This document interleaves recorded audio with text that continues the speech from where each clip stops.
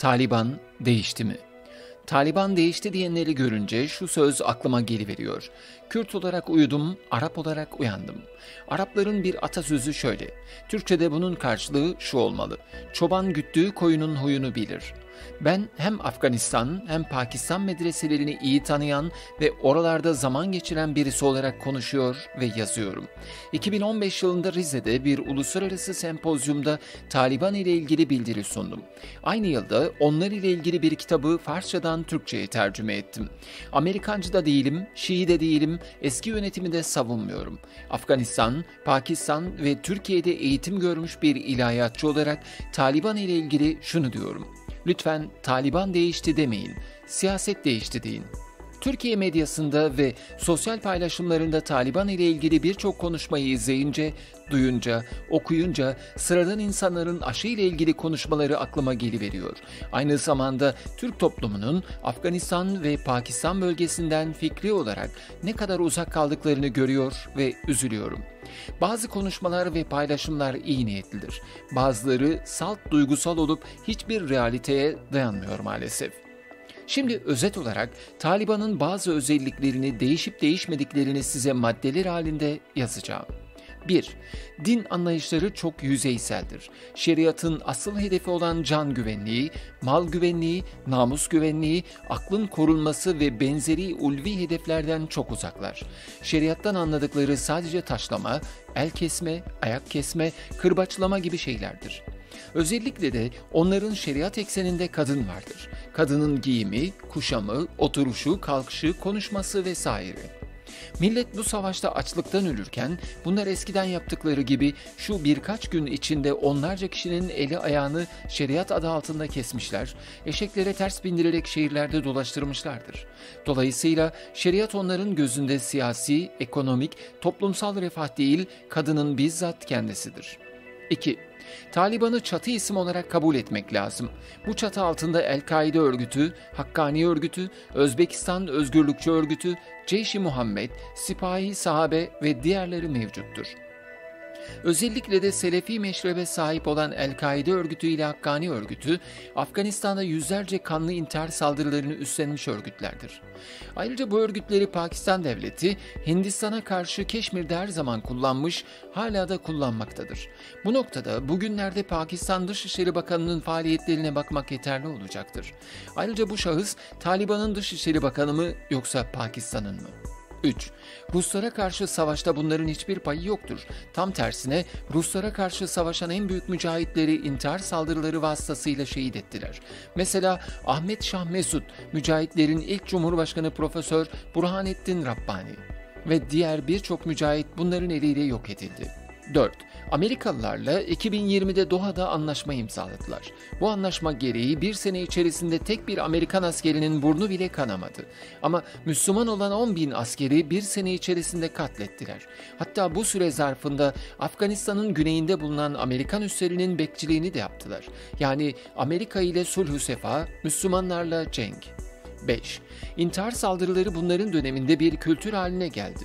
Daha önce mücahitler 14 sene Ruslara karşı savaşırken tek bir intihar saldırısı gerçekleşmemişti. Ama bunlar yüzlerce çocuğa Veziristan dağlarında intihar eğitimi verip şehirlerin en kalabalık yerlerinde saldırı gerçekleştirdiler. 6. Her ne kadar teorik olarak kendilerini Hanefi olarak tanıtsalar da ameli olarak haricidirler. Yani Hanefilerin El Fıkhul Ekberine bağlı değillerdir. Çünkü 25 sene içerisinde yüzlerce okul yaktılar. Onlarca köprü ve altyapıyı havaya uçurdular. On binlerce masum insanı katlettiler. İnsanları diri yaktılar. Çocukları katlettiler. Devlette çalışan herkesi tekfir ettiler. En kanlı intihar saldırılarının sorumluluğunu üstlendiler. Siviller hariç sadece devletin askerlerinden 65 bin kişi öldürdüler. 7. Daha önce Taliban muhaliflerini fiziki terör ile ortadan kaldırıyordu. Şimdi ise şahsiyet ve haysiyet terörü yapıyorlar. Hem de medya yolu ile.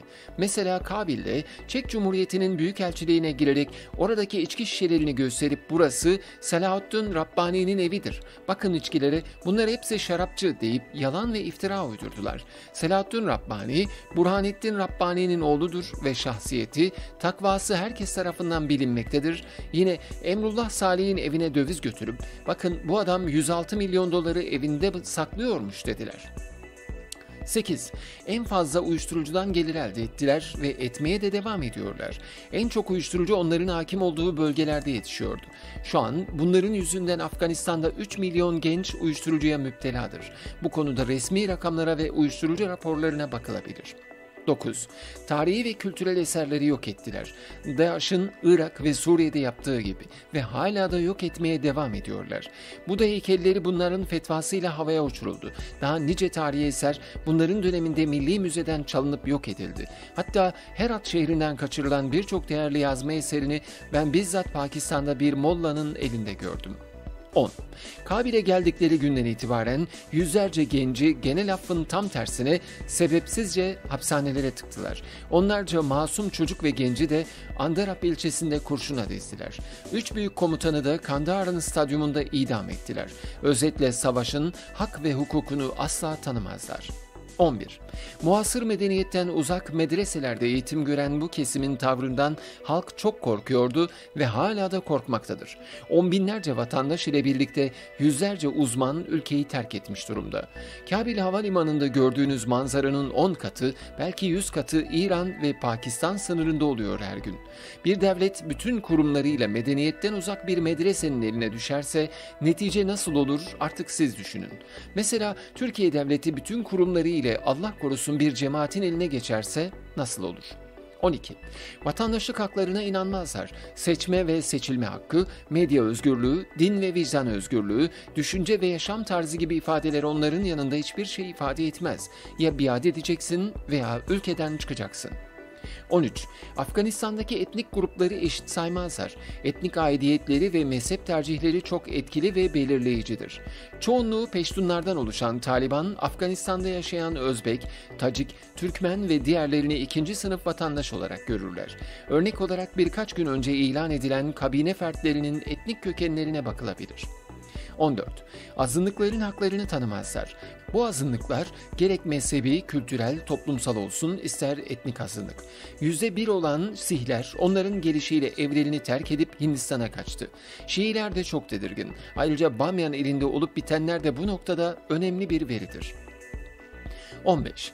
Toplumda hiçbir şekilde çeşitliliği, çoğulculuğu kabul etmezler. Onlar toplumu sürü gibi tek bir çeşit isterler. Tabii ki diğer bütün kültürleri yok etmek için. 16.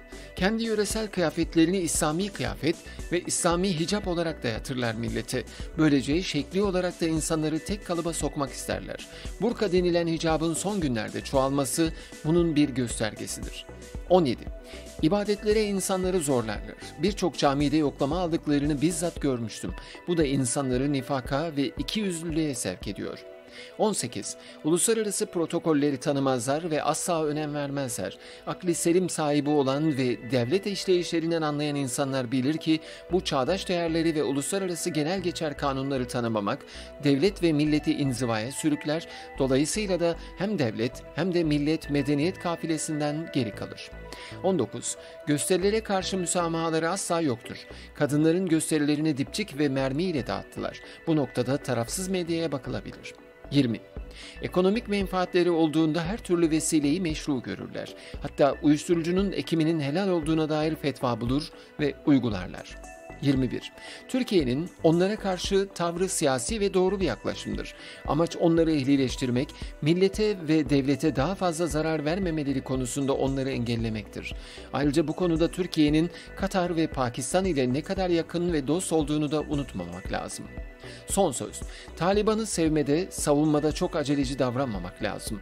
En önemlisi de devletlerin siyasi yaklaşımlarına dini kılıflar bulmaya çalışmak aslında dine, imana, ahlaka yönelik en büyük darbedir, en büyük zarardır. Özellikle daha düne kadar on binlerce Afganistanlının kanına giren cani bir örgütü savunmak, İslam düşmanlarının da oluşturmak istedikleri İslamofobik algıya katkıda bulunuyor. Onlara destek vermek farkında olmadan Türkiye'deki ve dünyadaki dindarlara da derinden zarar vermektedir diye düşünüyorum. İslami İlimler Fakültesi Karaman Doktor Öğretim Üyesi Nasurettin Mazhari